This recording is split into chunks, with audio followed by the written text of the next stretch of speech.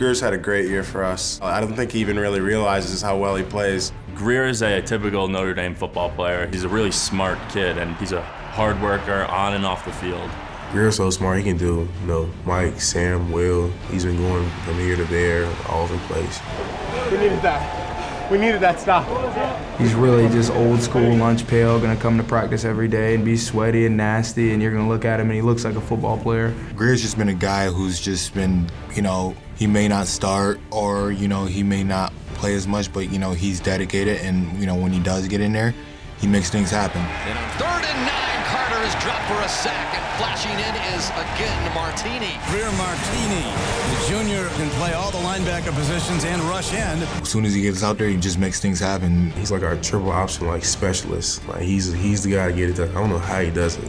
He carried that next man in mentality. He played like he was a starter every time. Whoever he was coming in for, there was no drop off. I love Greer. He's like my brother from like a different mother. Like really. Greer brings it day in and day out on the football field. He's another guy that, you know, when you put your hand on there and say, count on me, you can count on Greer. That'll be on two, one, two. Count me.